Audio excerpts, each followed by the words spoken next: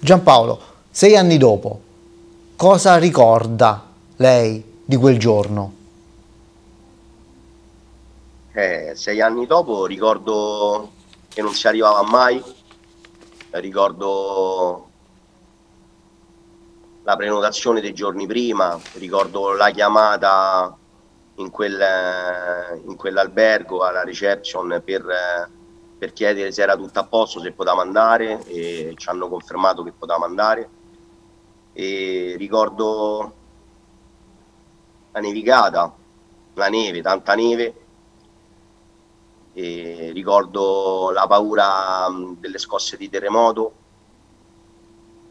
e poi credo queste sono le cose un po' più un po' più brutte poi l'unica cosa bella che ricordo sono gli ultimi momenti passati con, con mia moglie, con Valentina e quelli non si cancellano e rimangono tatuati nel mio cuore. E poi ricordo il momento della, della valanga e, e, tutte le altre, parlo per me, 62 ore successive che sono stato sotto le macerie. Quando è arrivata la valanga, cosa è successo? Quando è arrivata la valanga eravamo appena quasi tutti quanti rientrati perché eravamo andati a sistemare le macchine che nessuno ci veniva a pulire la strada per andare via perché le macchine erano pronte tutte quante per andare via. Siamo rientrati e ho avuto, e ho avuto giusto il tempo di, di salutare a questo punto Valentina e qualche, altra, qualche altro ospite che era vicino a noi. Eh, io ero in piedi, ero sotto all'arco che, che separava il bar, mi sembra, no? il corridoio tra la hall e la libreria e il bar, da, dalla, sala, dalla sala dove c'era il caminetto grande, dalla sala tutta allestita.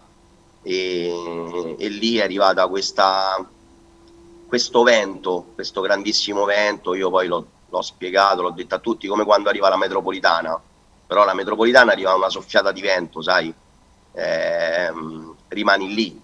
A me questo vento mi ha preso dietro dietro le spalle perché davo le spalle alla montagna in quel momento mentre parlavo e mi ricordo che volavo. Io mi ricordo proprio che volavo, ho provato ad aggrapparmi con le mani da qualche parte, ma sono, mi ha sbattuto lontano.